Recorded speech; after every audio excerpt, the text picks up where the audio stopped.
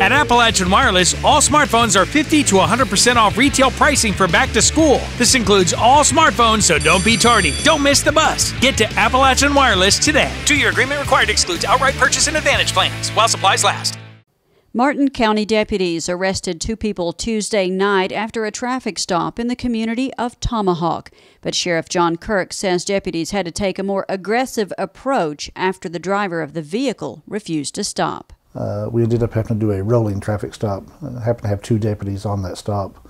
Uh, Deputy Blevins passed him and was able to do uh, a rolling traffic stop, get him stopped.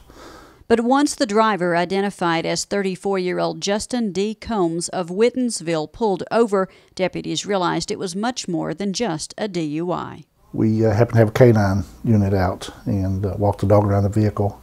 Dog indicated on the vehicle, and we were able to recover some methamphetamine, some scales, Combs and his passenger, 38 year old Amy Lynn Mollett of Louisa, were both arrested. Combs is facing charges of first degree trafficking in a controlled substance for the meth, DUI, carrying a concealed weapon for the brass knuckles found in his back pocket, and other traffic related charges. Mollett was charged with possession of meth and other drug related charges.